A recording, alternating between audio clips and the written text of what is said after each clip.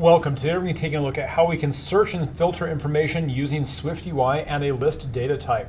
So we have right here my data view. We're working on my data project specifically to work on this. If you're doing iOS 14 or below, I have a different video you can use to make that happen because it's a different process to actually go through and provide a searchable if you're working with something that's uh, using iOS 14 or before. So the main view right here, the first thing we have to do is we have a couple data members we have to add to make it so it's searchable. The first one we have is a state private var named search text, which passes a value um, that is a string that's an empty string.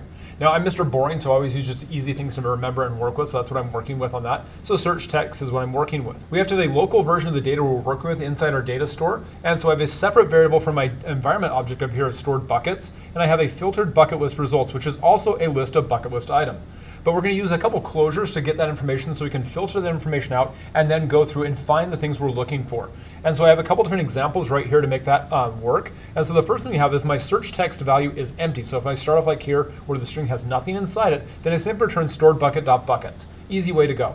However, if I have typed something into my search field and I have something in my search text variable, then I'm going to return a stored buckets.buckets.filter. So I'm going to take the buckets inside my list. and I'm going to filter them based on the ones that match the following categories. And so I'm using the OR operator here. So if it's any this or this or that or that, so we'll get any of those things on there. So I'm returning stored buckets.buckets.filter if the unnamed parameter, aka the bucket I'm talking to, if it's goal and I force it to lowercase, if it contains the text I'm typing, then I return that. Or if the um, bucket I'm talking to, if its creature's lowercase value contains the text I'm typing, also lowercase, of course. Or if I do a string initialization of the uh, bucket I'm talking to's year matches the text I'm typing, so I can search by year, by creature, or by goal, I'm going to return that as the filtered results, so it'll match all of that in there. And so that shrinks the list down itself. Now I need to make it so that that list is what I'm looking for inside my actual structure that I'm using to iterate over all the row views I'm working with so I can find those. And that happens over here. And I change my for each, instead of using the stored bucket.buckets like I was using earlier for the first part of this app, I change it to be filtered.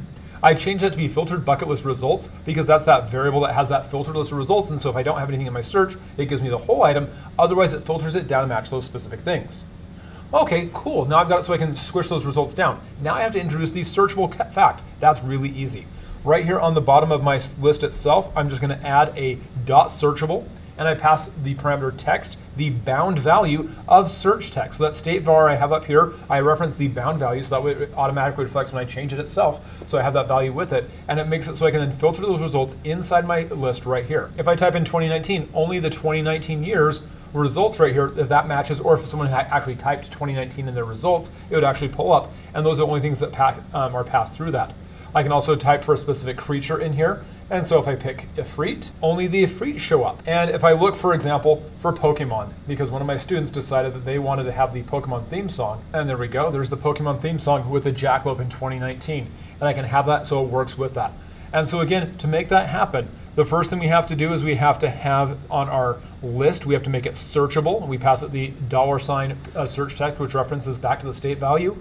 Inside our actual for each, we have to use that filtered bucket list results, which is the variable that references the actual data store. And if we have anything that's actually searched for, we then filter results based on that using the unnamed operate, using the unnamed parameter, dollar sign zero, for that first parameter um, from that stored buckets return. And so that's how we can make it do that. I hope this is helpful. Cheers. See you next time and have a great day. Bye bye.